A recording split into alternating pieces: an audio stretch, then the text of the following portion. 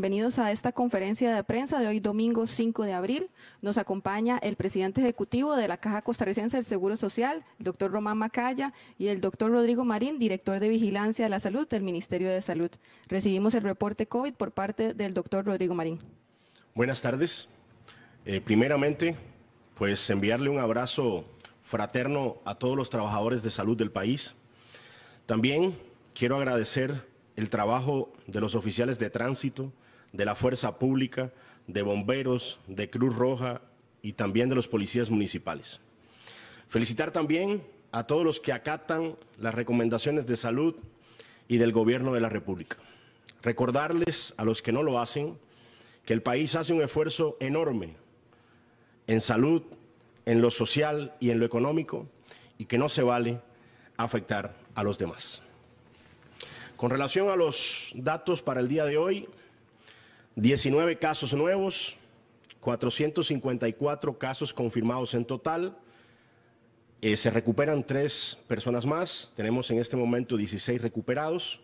Lastimosamente, dos fallecidos eh, que tenemos hasta el momento. 4.644 casos descartados. 5.098 test entre positivos y descartados en total. Eh, hoy 444 pruebas se hicieron. Rango de edad entre 1 a 87 años. Se trata de 222 mujeres y 232 hombres, de los cuales 423 eh, son costarricenses y 31 extranjeros, los extranjeros de 13 nacionalidades diferentes.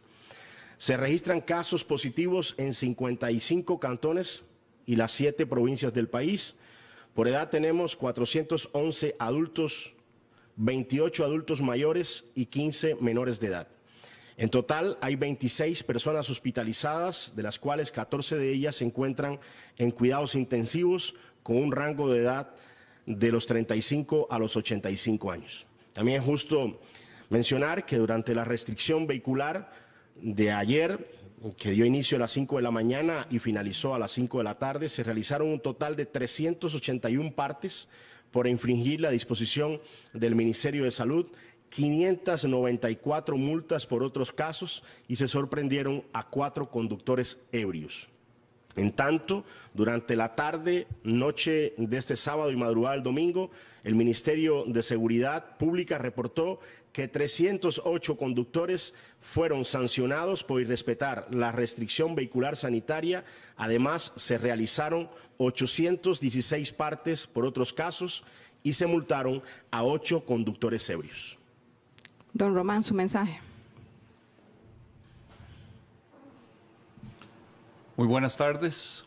Yo quisiera empezar con un mensaje general sobre la fuente de la información que se utiliza para eh, informarnos.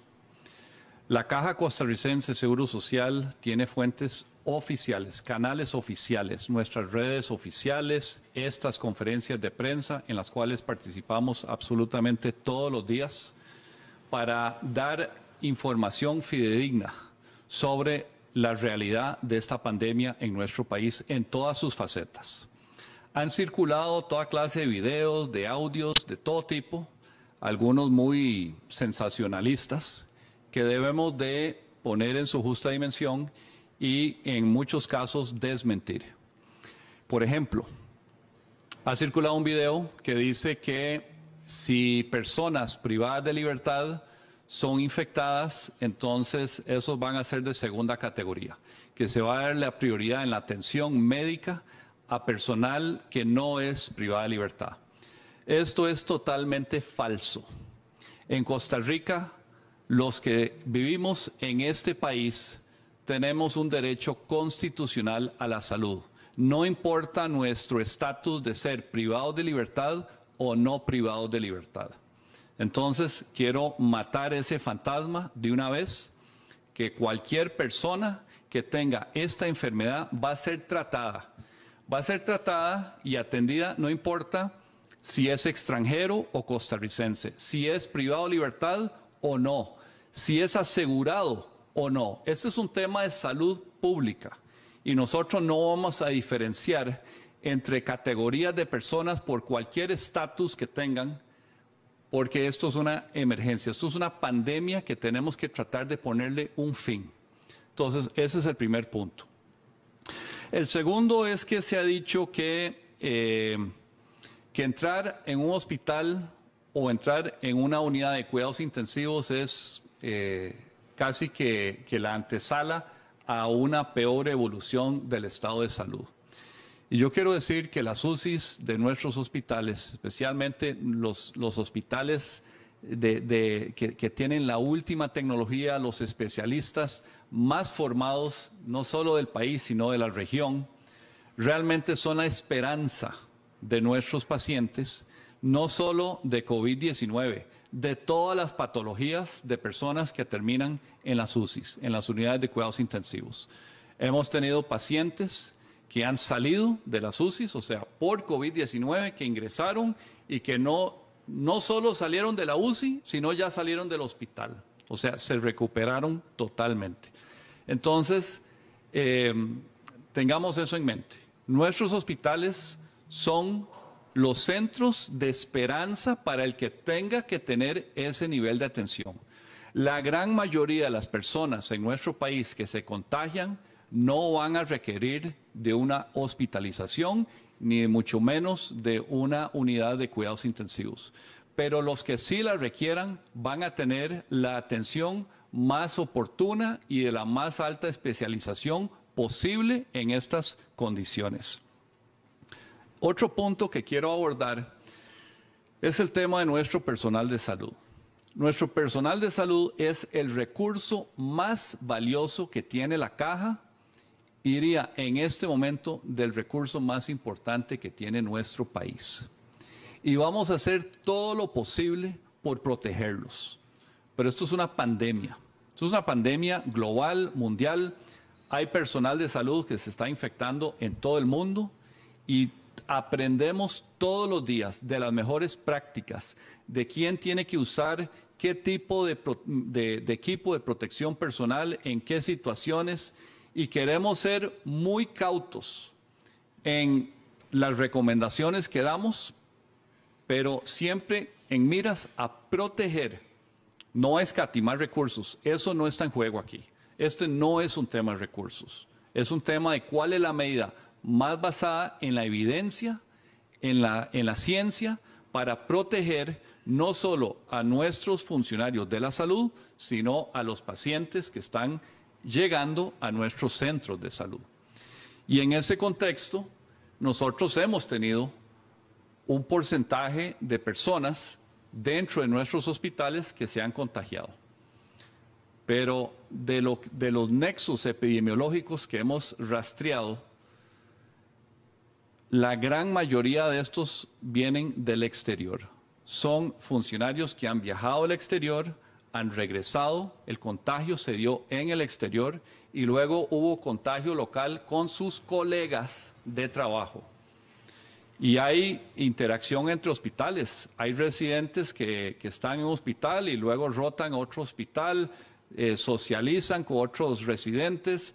Esta, esto es la naturaleza de los trabajadores de la salud y nosotros tenemos que en todo momento estar buscando los nexos para evitar las prácticas en términos de nexos, pero también para equiparlos con el equipo de protección que ocupan. Y quiero darle ese aseguramiento de un compromiso institucional a nuestros funcionarios de la salud, que queremos que ustedes estén lo mejor protegidos posibles, siempre basándonos en la evidencia y siendo totalmente transparentes en cuanto a cuántos funcionarios han salido positivos, quiénes están siendo aislados en la casa, cuáles son los criterios técnicos y científicos con los cuales se toman decisiones y participarlos en, en ese diálogo para que nuestro personal sepa que tenemos cubierta su espalda. Ustedes son los funcionarios de los cuales depende nuestro país y tenemos que protegerlos. Muchas gracias, don Román. Iniciamos con las consultas que nos envían los colegas. Em, don Román, Nos consultan si hay personas que pagan seguro voluntario y no están laborando, principalmente amas de casa, ¿para ellas se les rebajará la cuota mensual? Eh, bueno, la, Junta Directiva tomó una decisión hace eh, semana y media más o menos, en la cual se rebajó la base mínima contributiva. Esto eh, que, empresas, y, pero además que trabajadores independientes y, asegurados voluntarios reduzcan sus cuotas a la caja. Es una medida temporal de tres meses, los meses de marzo, abril y mayo. Y la intención de esto es, es dar un respiro a las empresas y a las personas para que se mantengan, por un lado, formalizados entre la caja y segundo, que las personas y las empresas que pueden seguir cotizando y puedan seguir recibiendo un ingreso, especialmente los, los asalariados, puedan seguirlo haciendo. O sea, que las empresas, y esto va más allá de los, de los trabajadores independientes y los eh, asegurados voluntarios, que las empresas ante una decisión de si liquido al personal o la mantengo en planilla, pero con un horario, una jornada reducida, opte por la segunda, para que las familias tengan al menos un ingreso, especialmente en estos días, como en esta Semana Santa y otros que podrán venir, en donde tengamos que estar aislados en nuestra casa y tal vez muchos casos sin posibilidades de teletrabajo.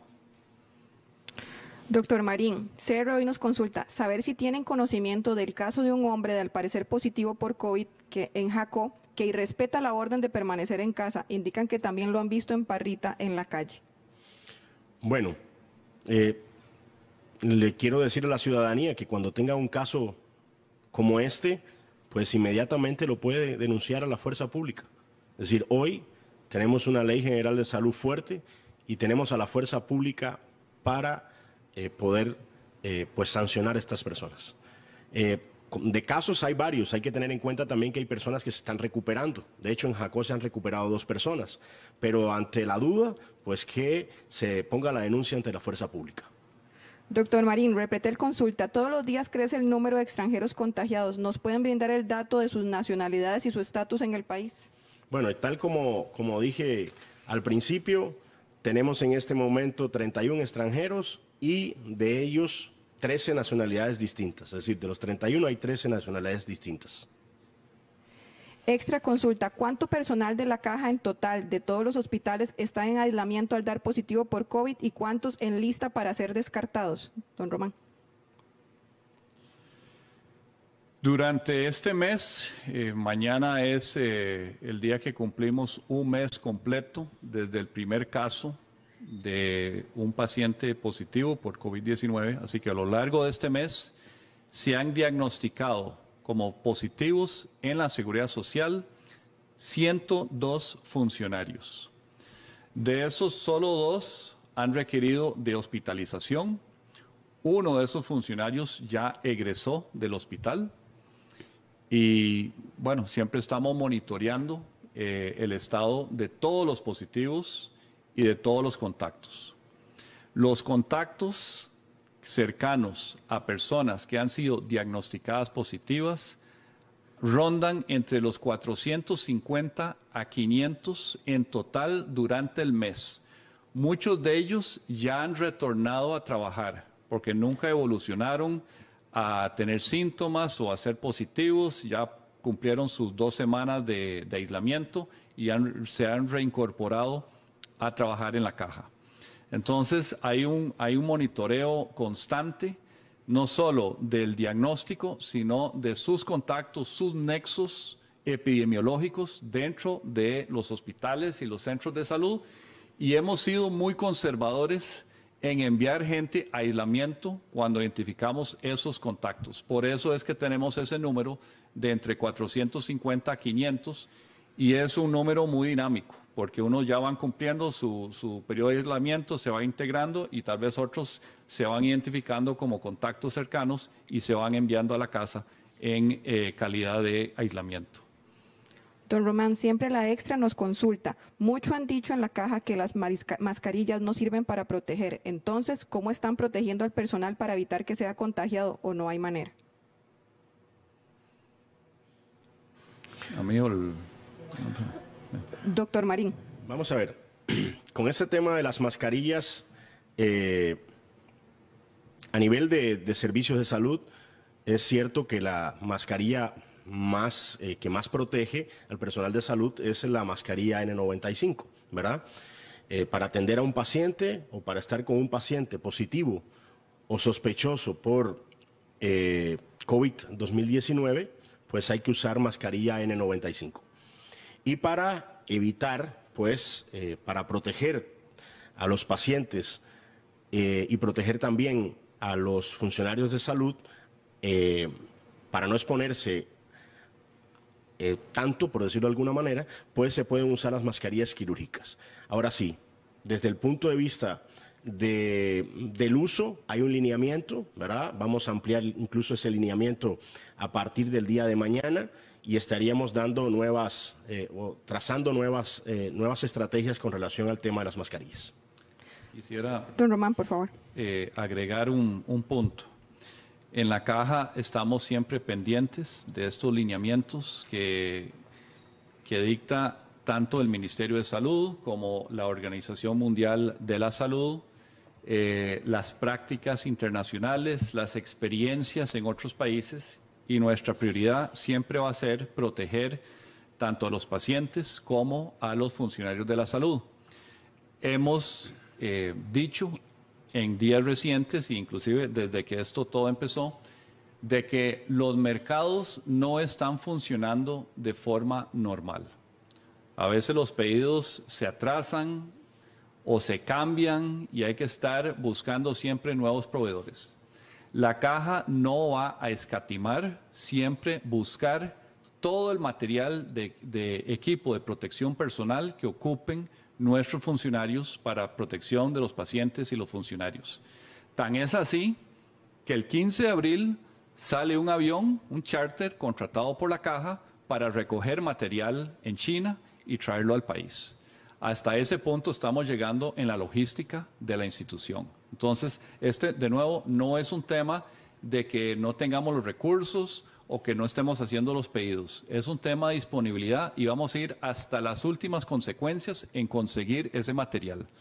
Pero como los mercados internacionales no están funcionando normalmente, también hemos dicho que tenemos que pensar o mentalizarnos como país que si bien estamos juntos como país, estamos relativamente solos a nivel internacional y tenemos que tratar en la medida de lo posible de autoabastecernos de mascarillas, de batas de, de impermeables, de todo tipo de equipo y hasta de ventiladores en la medida de lo posible porque el mundo entero está buscando los mismos materiales. Y hay países con mucho más recursos y poblaciones mucho más grandes que están saturando los pedidos en las fábricas del mundo. Doctor Marín, un medio regional de, Turrialba y Monumental nos consultan, ¿por qué las zonas atlánticas y norte registran menos casos de la enfermedad COVID? ¿Hay algún dato que evidencia el comportamiento del virus en zonas atlánticas? Y siendo más específico, ¿por qué Limón solo registra un caso? Bueno, yo quiero recalcar nuevamente este tema porque ha sido, eh, todos los días me preguntan sobre Limón. Eh, hasta este momento Limón solo reporta un caso confirmado. Y no es porque no lo estén buscando, todo lo contrario, lo están buscando, están haciendo un trabajo eh, excelente ahí a nivel de todo el personal de salud, están buscando los casos, están buscando los casos. Eh, yo les decía que el día de hoy, por ejemplo, aumentamos los test en casi 444, varios de esos son limonenses que, que no tienen el virus en este momento. Estamos ampliando también en el país el tema de de la búsqueda activa en los sitios Centinela. Ayer comentaba, y lo confirmo yo nuevamente, eh, vamos a tener 18 eh, sitios Centinelas en el país como para hacer una búsqueda grande en esos sitios Centinelas eh, de prácticamente como mínimo 15 pruebas para saber verdaderamente pues tener en una, una radiografía un poco más, o una foto un poco más grande del país. También eh, este país tiene una sensibilidad muy alta y eso es un tema que yo quiero dejarlo también. El sistema de salud de Costa Rica es un sistema de salud robusto, que tiene una sensibilidad alta. A nivel mundial, por ejemplo, eh, se habla de que el 20% de las personas afectadas pues necesita eh, hospitalización. En Costa Rica en este momento estamos hablando de un 9.7%. Eh, en el mundo se habla de que el 5% del total de casos necesita estar en la unidad de cuidados intensivos. En este momento en Costa Rica tenemos un 3.9%. Me preocuparía sobremanera, por ejemplo, si tuviéramos mil casos de neumonía o mil personas fallecidas eh, por, alguna patología respiratoria y no tuviéramos eh, los datos de COVID. Estamos buscándolo, requete buscándolo. Vamos a aumentar la capacidad incluso diagnóstica del país eh, de una forma brutal, se los digo así de verdad.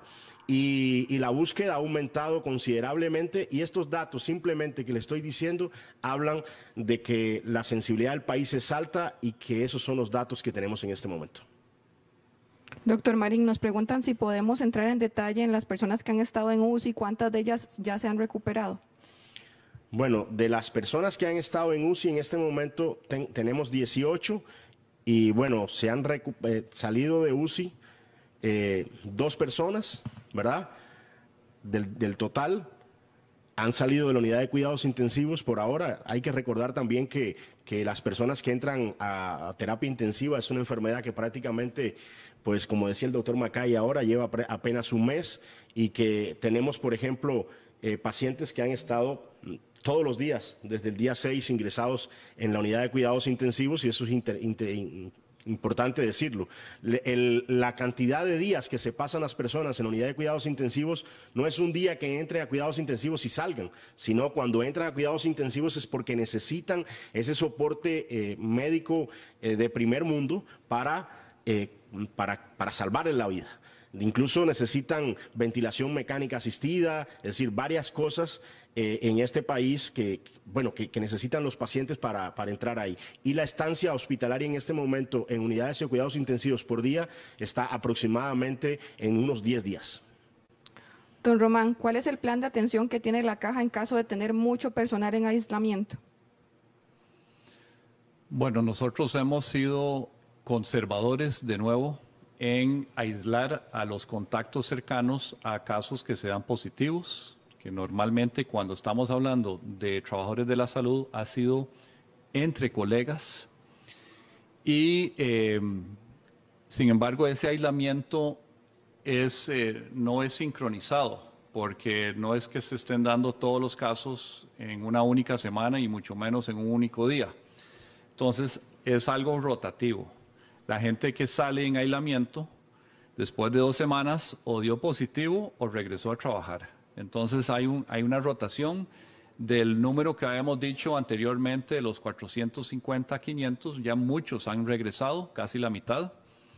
Y, esto va, probablemente a continuar. Eh, de nuevo, estamos haciendo todo lo posible por proteger al, personal médico y, los enfermeros, los auxiliares de enfermería, hay personal que aquí no es un tema de estatus eh, jerárquico dentro de la institución, es un tema de exposición a pacientes y, de prácticas de eh, relacionamiento entre colegas que tenemos que, tratar de, fortalecer en contra de, del contagio.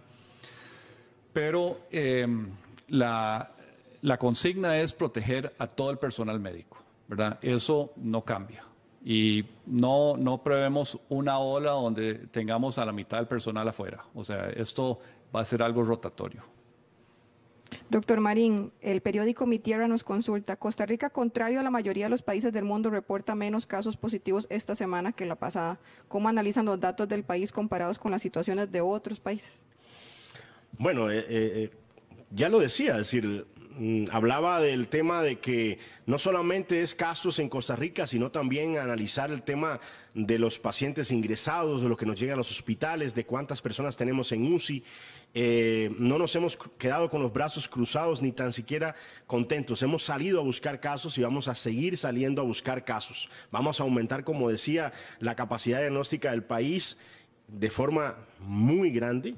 También eh, el tema de los sitios centinelas que decía, es decir, aproximadamente unas 270 pruebas se harán semanalmente en diferentes puntos del país para tener verdaderamente una fotografía grande del país, pero el país tiene un, sistema robusto de salud, lo digo y lo reafirmo, es decir, no, se esconden casos, eh, el nivel de ingresos es el 9.7% en este momento eh, con relación a las pacientes que han ingresado, un 3.9% de casos eh, en UCI, muy largo del 20% de los casos ingresados por, por, COVID en otros países. Y, estamos monitoreando el resto de los países, estamos haciendo una búsqueda activa y, y sí es cierto que hay otros países más afectados. Eh, nosotros tomamos medidas eh, no solamente desde el punto de vista de salud, sino también de gobierno y a pesar de que hay por ahí alguno que otro que no hace caso, pues la mayoría del país, pues yo creo que se ha puesto la camiseta de la lucha de Costa Rica contra el COVID-2019. Don Román, Extra TV consulta, en los lugares donde no se tiene el servicio de traslado de medicamentos, se está dando problemas por pérdida de recetas de los medicamentos de personas. ¿Cómo se está regulando esta situación y a cuál número pueden llamar las, las personas para externar este tipo de queja?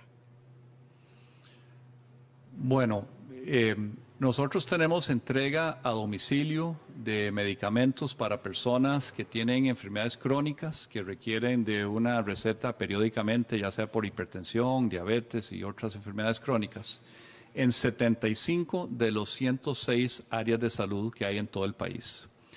Además de esto, hay entrega a domicilio que eh, se hace por parte de la caja. De, de esas 75 áreas que hablaba anteriormente, Estamos hablando de convenios que se han establecido con empresas privadas que ayudan a esa distribución domiciliar, igual con algunos entes públicos. Pero además de eso, hay entrega a domicilio en, cuando hay una teleconsulta. Terminando la teleconsulta, se hace la coordinación en el centro de salud para esa entrega a domicilio, precisamente con la intención de que las personas no tengan que acudir a un centro de salud en la medida de lo posible. No está disponible en el 100% de la red de la caja. Entonces hay que, hay que coordinar localmente con el área de salud para ver si ese servicio está disponible o no. Eso siempre lo pueden averiguar llamando al 1322, que es el número para entregas a domicilio por los convenios, eh, y también llamando al centro de salud que le toca acudir en eh, el caso de cada persona. Pero de nuevo, trate primero de, agotar todas las instancias de esa entrega a domicilio antes de aventurarse, por decirlo de alguna forma, a ir a recoger el medicamento. Y hay que asegurarse que ese medicamento va a estar listo cuando usted llegue. Entonces hay que ir en el día correcto si es que le tocara ir al centro de salud. Pero la gran mayoría de los centros de salud tienen habilitado la entrega a domicilio por, convenios con empresas o sector público o por la misma institución que hace ese esfuerzo eh, de, de, aislar a las personas y no obligarlos a venir a recoger sus medicamentos. Don Román, nos reiteran que les quedó duda si las madres que pagan seguro voluntario que no tienen trabajo, se les rebajará la, mensualidad. Sí, ese, ese, eh, esa reducción que se, que se tomó eh, como decisión en la Junta Directiva, reduce esas cuotas eh, obrero-patronales o en el caso de los voluntarios y los trabajadores independientes. Eh, esperamos que puedan seguir formalizados ante la caja. Eh, nosotros siempre buscamos maximizar la formalidad de la población ante la institución, pero sabemos que estos no son tiempos normales y, por eso se tomó la decisión en Junta Directiva de esa reducción en la base mínima contributiva. Colombia nos consulta, don Román, em, ¿qué tan fondeada y lista está la operadora de pensiones complementarias de la caja para iniciar la devolución de los correspondientes FCLs? Bueno, yo no tengo la, información a mano en este momento. Eh, eso tendríamos que, indagarlo con la, operadora, pero eh, es, hay una decisión muy reciente de, habilitar esa, devolución de fondos y mejor eh, me espero a tener más información antes de contestar esa pregunta. Doctor Marín, eh, ¿qué recomendación se le da a los taxistas como medio de transporte público, ya que tienen contacto muy cercano con los clientes? ¿Es obligatorio que, que, ellos lleven alguna protección facial porque pueden recoger clientes en hospitales o trasladarlos hacia los centros de salud? Todo ayuda, todo ayuda. De todas formas, vamos a hablar del tema del uso de las mascarillas eh, a partir de mañana, pero lo más importante aquí es extremar las medidas higiénico-sanitarias. Es decir, eh, en el manejo del dinero, eh, cuando recibamos algún cliente, nos bajamos, dejamos al cliente, al usuario en algún lugar y hacemos una limpieza, ¿cómo se dice? Puede ser con, cloro, puede ser con alcohol en gel, de, todos aquellos lugares que pueda haber tocado el cliente, y eso es una cosa muy importante, y lavarse las manos continuamente. Esas son las medidas higiénico-sanitarias más importantes que deben tomar los taxistas en este momento. Don Román, nos consulta eh, el semanario. Funcionarios del Hospital de Alajuela reportan un cambio en la cantidad de recursos y dicen que han tenido que recibir algunas donaciones para ciertas necesidades. ¿Se ha tenido que recortar las provisiones o los servicios de otros hospitales para poder dedicar recursos a SEACO o a la atención de coronavirus en otros hospitales? No, la, los recursos que se destinan a SEACO, que es el, el reconvertido para atender pacientes COVID-19 exclusivamente, son recursos adicionales, no son recursos a expensa de los otros hospitales de la red, porque el resto de la red hospitalaria de la caja va a seguir recibiendo pacientes COVID-19. En algunos casos, por criterio médico, esos pacientes van a ser trasladados a el CENARE, que está destinado para eso y tiene una capacidad para atender 88 pacientes simultáneamente. Pero eso no quita que tengamos que tener la capacidad en toda la red de la caja para atender pacientes eh, que nos vayan ingresando a nuestra red que sean positivos COVID-19. Don Román, Telenoticia nos consulta, ¿qué es lo que van a traer de China? ¿Cuánto es la inversión, incluido el charter? Bueno, en este, este primer vuelo, eh, podrían haber otros, pero en este primer vuelo, que será de este martes en 8, estamos trayendo principalmente equipo de protección personal. Y para dar una idea del costo, el costo del material que trae es, es, mucho material en, en bulto, ¿verdad? las mascarillas, las, las batas, eh, todo lo que es equipo de protección personal, tiene un valor de, de más o menos 350 mil dólares y el vuelo en sí cuesta más o menos lo mismo. O sea, solo ir a traerlo duplica el costo de lo que nos estamos trayendo. Pero eso es la naturaleza de los tiempos que estamos viviendo y por eso resalto la prioridad que estamos dándole a conseguir lo que ocupan nuestros funcionarios de la salud. Doctor Marín, diferentes medios nos piden un pronunciamiento ante la situación que se vive en Nicaragua. ¿Es posible que Costa Rica solicite una intervención oficial a la OMS a fin de que se supervise el trabajo de Nicaragua y buscar garantizar que Costa Rica no resulte afectado?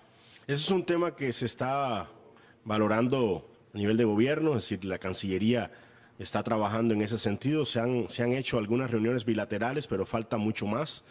Es decir, eh, eh, es cierto que que las cifras de Nicaragua en este momento pues no están acorde a lo que a nivel nacional o a nivel mundial se observa.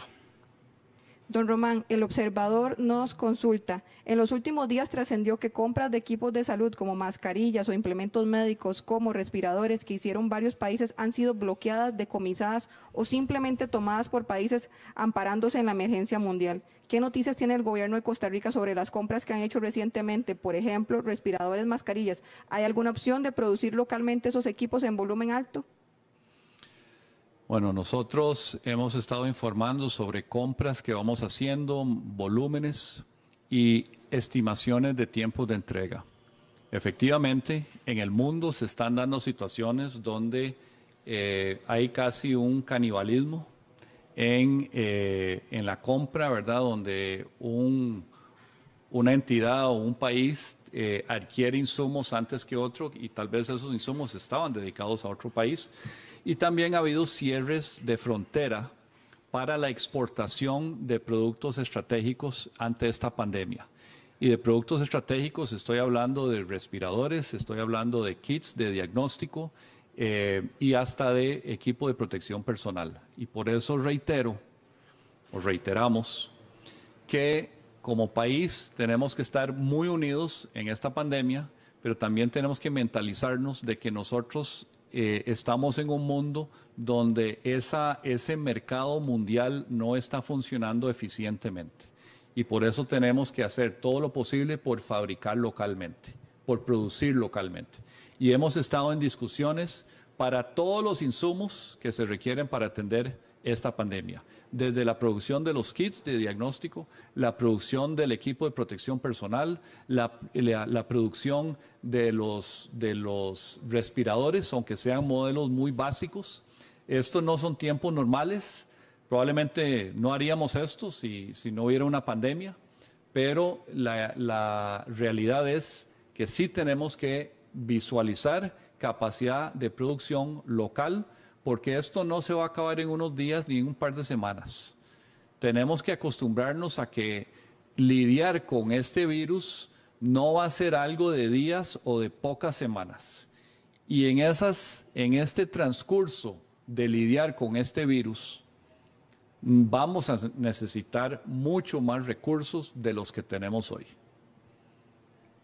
Doctor Marín, eh, siempre en las consultas del observador nos hace la siguiente consulta. El viernes se habló de que se tenía identificado un 97 o 98% de los casos, es decir, que cerca del 2 o el 3% de los casos no se había identificado el nexo epidemiológico, pero que todavía no es suficiente para hablar de que hay contagio comunitario. ¿Podría explicarnos qué características deben darse para afirmar que tenemos contagio comunitario? Ejemplo, porcentaje de casos identificar nexo, etcétera. En una fase 4 sería necesario endurecer medidas como cuarentena o circulación? Vamos a ver, dentro de los factores o los múltiples factores que, se, que se manejan para hablar de transmisión comunitaria, les voy a mencionar tres. Es decir, un gran número de casos no vinculables a las cadenas de transmisión. Estábamos hablando más de un 90% de los casos los tenemos identificados. Incluso una gran cantidad de personas son casos importados un gran número de casos de vigilancia de laboratorio Centinela. Es decir, eh, estamos intensificando eh, la vigilancia Centinela del país y hasta el momento, a pesar de todas las cosas, hoy pasamos más de 5.000 test, 444 pruebas hoy y se mantiene la misma tendencia de casos. Es decir, no tenemos ese gran número de casos de vigilancia de laboratorio Centinela. Y también otro factor importante, múltiples grupos no relacionados entre sí en varias zonas del país. Es decir, en este momento, bueno, me lo acaban de decir, hay zonas del país que, que prácticamente, eh, como el caso de Limón, que apenas tiene un caso a pesar de la búsqueda que se está haciendo. Así que eh, esa sería la diferencia. Cuando tengamos gran número de casos no vinculables a las cadenas de transmisión, cuando tengamos un gran número de casos de vigilancia en los laboratorios Centinela y cuando tengamos múltiples grupos no relacionados entre sí, por el momento tenemos más del 90% de los casos identificados, los tenemos eh, relacionados en su gran mayoría y muchos de los casos también son casos importados.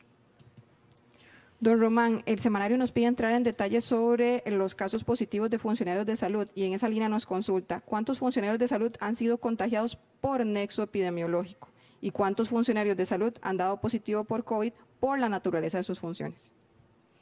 Bueno, de la evidencia que tenemos, porque esto es un trabajo de detective, cada, cada caso positivo hay que investigar quiénes fueron los contactos y en qué contexto se dio la gran mayoría, si no todos, parecieran ser nexos entre colegas en el sector salud.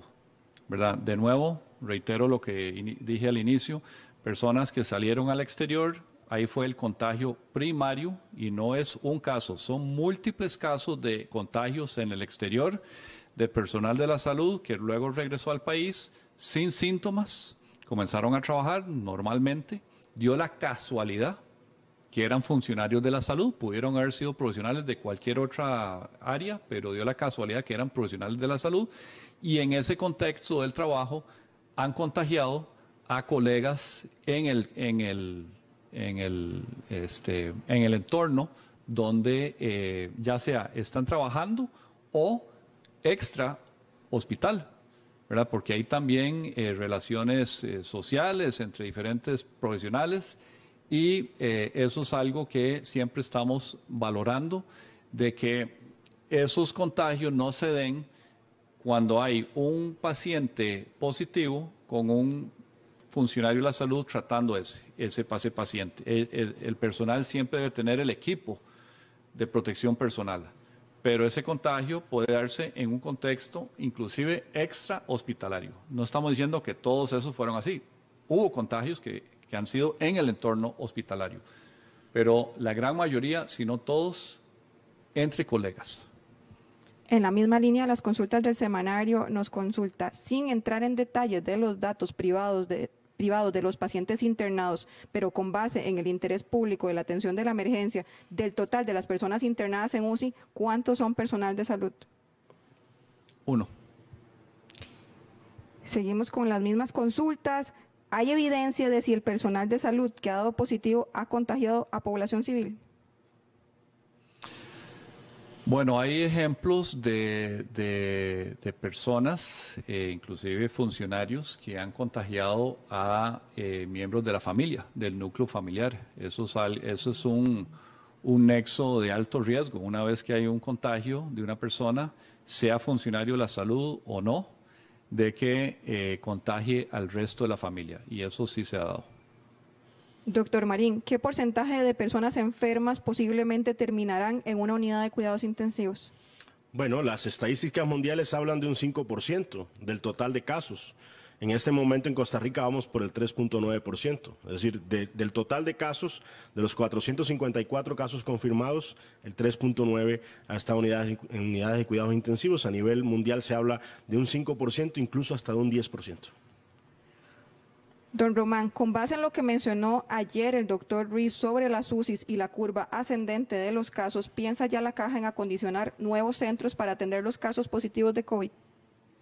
Bueno, siempre estamos eh, monitoreando la curva, que es creciente, pero afortunadamente todavía lineal.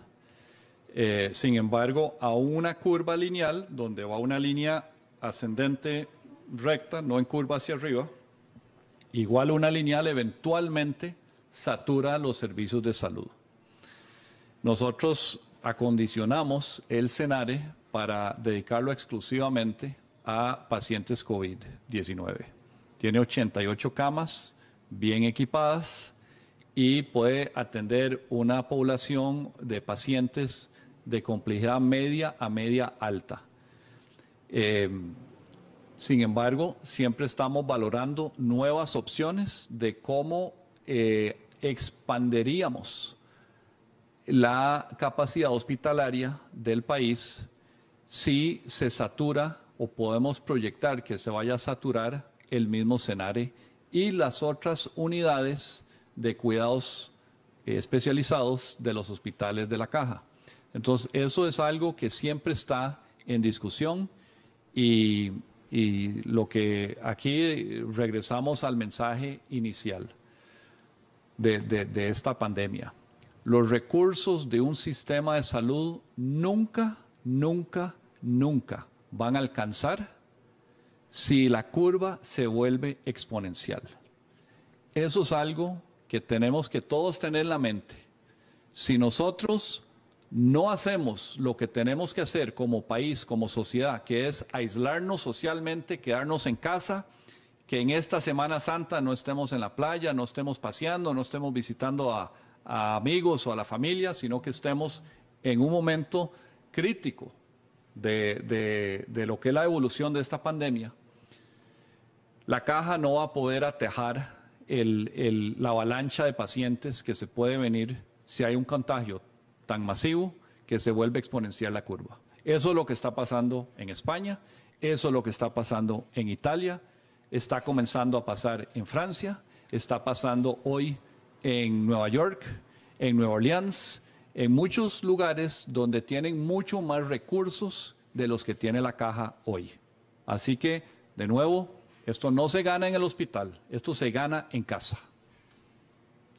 Telefides nos consulta, doctor Marín. Muchos dicen que estamos en fase 2 o en fase 3 de la pandemia. ¿En qué fase realmente estamos y cuántas fases tendría esta pandemia? Bueno, hablando de epidemiología, serían cuatro. Hablando de, la Comisión Nacional de Emergencia, pues eh, en este momento estaríamos también en, la alerta, ¿verdad?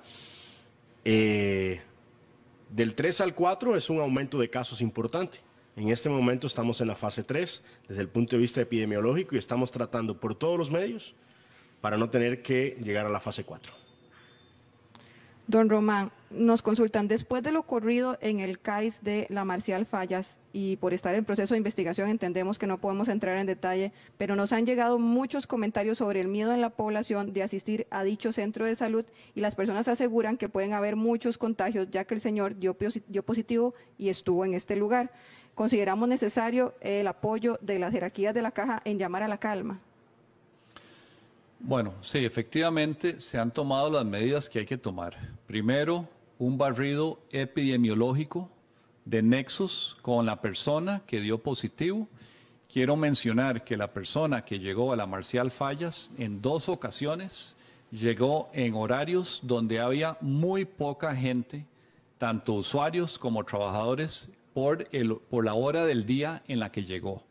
Se hizo una revisión de las cámaras para ver dónde estuvo la persona, con qué personas tuvo contacto y ese barrido epidemiológico se ha hecho, se ha hecho los contactos y, aislar a las personas que podrían estar en, una situación de riesgo.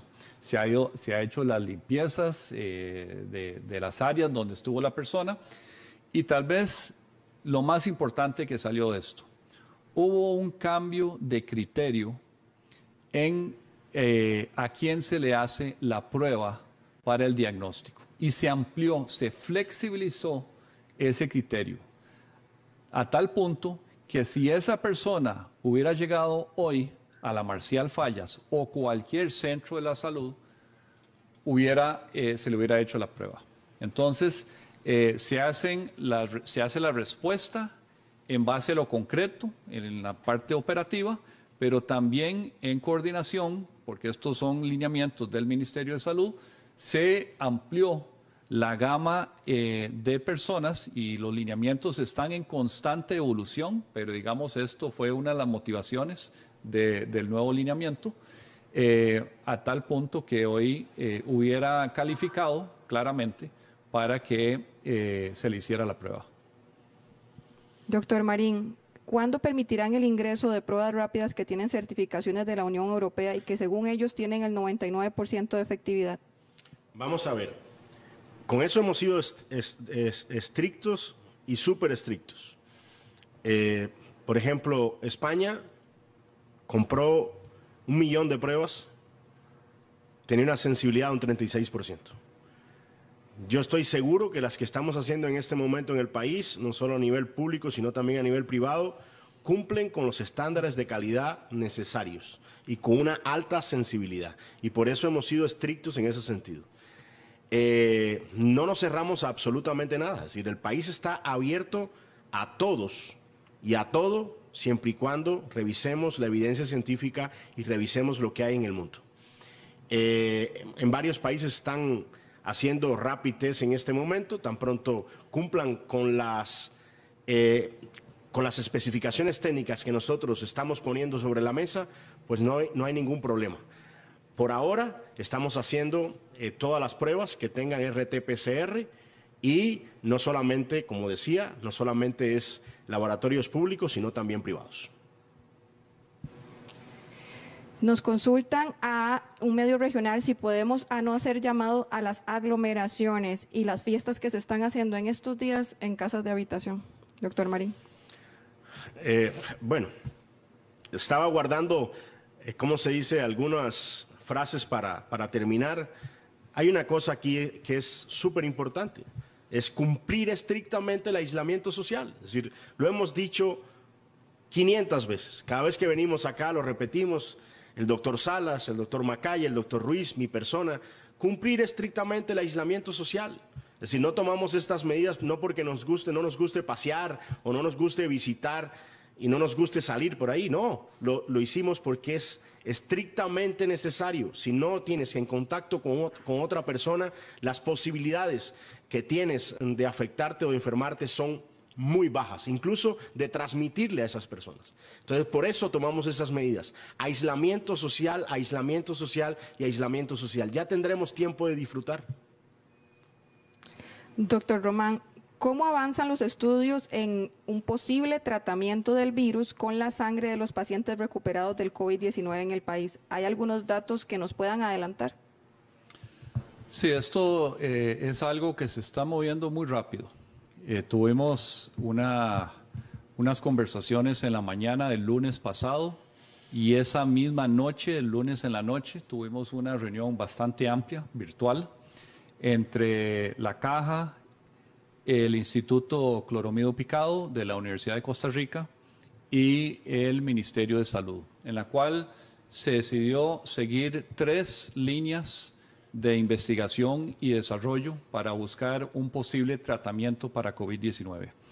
La primera es plasma convaleciente, que es básicamente tomar sangre de un paciente que ya está recuperado para eh, fraccionar el, digamos, del plasma eh, la parte donde se encuentran los anticuerpos, que es lo que genera el cuerpo de la persona que ya se recuperó, y que esos anticuerpos le ganaron al virus, o sea, liberaron el, virus del cuerpo y hacerle una transfusión a un paciente que está eh, enfermo en ese momento con el virus activo. La segunda opción es, igual con sangre de un paciente recuperado, eh, purificarle esos anticuerpos, estandarizar eh, la potencia del poder neutralizador del virus, si se puede, y inyectar eso en un paciente eh, enfermo. Y la tercera opción es la eh, opción que utiliza el Instituto Cloromido Picado todos los días en la generación o la, la producción de sueros antiofídicos. Solo que en este caso, en vez de estar generando anticuerpos contra un veneno de una serpiente, va a estar generando anticuerpos contra proteínas del virus. Entonces son tres opciones que se van a seguir a ver cuál es eh, la, efectiva. En esto no hay garantías, esto es, de investigación, pero va muy rápido. Han habido ya contactos internacionales de proveedores de todo tipo y de alianzas que se están dando. Pero esa es una capacidad país que hay que aprovechar, esta del cromido picado. Son muy pocos países en el mundo que tienen las habilidades y la experiencia que tiene el Instituto Cloromido Picado para hacer precisamente esta estrategia de eh, tratamiento de pacientes. El observador nos consulta, hoy tenemos, tenemos un nuevo pico de pruebas. ¿Por qué cambia diariamente el número de pruebas que hacemos? ¿Cuál es el criterio? Porque estamos buscando más. Estamos a medida que, es una enfermedad en curso y a medida que va evolucionando la misma, pues eh, ¿cómo se dice? Pues estamos buscando más. También, por ejemplo, con relación a los lineamientos mismos, en este momento quiero decir que vamos por la versión 11, que hemos sido incluso hasta más agresivos que lo que nos plantea la misma OMS. Estamos, estamos poniendo eh, datos incluso eh, llevados a Costa Rica para aumentar esa sensibilidad a los lineamientos de Costa Rica en cuanto a qué se busca, qué es un caso sospechoso y qué no. En la misma línea, doctor Marín, nos consultan si usted podría desarrollar más la mención que hizo sobre el aumento fuerte en el monitoreo y nuestros centros de vigilancia. Bueno, ya lo comentaba, es decir, eh, en este momento tenemos más de 5.000 test hechos a nivel nacional, pero no estamos todavía, eh, no nos quedamos con los brazos cruzados. Es un esfuerzo grande, pero no nos quedamos con los brazos cruzados. Vamos a activar la vigilancia centinela en todos los sitios a nivel nacional, es decir, 18 sitios centinela están siendo en este momento eh, monitoreados a nivel nacional, buscando pacientes. Pasamos de tres pacientes a 15 muestras que vamos a traer a evaluar para, para ver verdaderamente en esos sitios cómo se está comportando. También vamos a aumentar el testeo en zonas calientes, en donde ha habido más transmisión, eh, para llegar a esos pacientes y para, y para llegar a la comunidad un poco más fuerte. Eh, como decía incluso, pues también los lineamientos se han sensibilizado y se han eh, puesto un poco más sensibles y yo estoy seguro que vamos a aumentar la capacidad de, testear. También lo comentaba anteriormente, la caja va a hacer un esfuerzo extraordinario con relación a la cantidad de pruebas que vamos a poder hacer. Eh, el país va a aumentar considerablemente la cantidad de pruebas que vamos a hacer con esos lineamientos sensibles que tenemos. Doctor Macaya, su mensaje final. Mensaje final es eh, quédese en casa. No vea esto como una Semana Santa normal. Esta no es una Semana Santa normal. No es un momento para socializar fuera de la casa. Eh, quédese en casa aislado con su núcleo familiar, medite y, también eh, veamos esto como un nuevo normal por, por el tiempo eh, que esto dure. Esto no va a ser un tema de días ni de pocas semanas. Entonces tenemos que acostumbrarnos a nuestra vida en estos eh, días tan extraños, tan complejos y a veces tan angustiantes que son los días de una pandemia.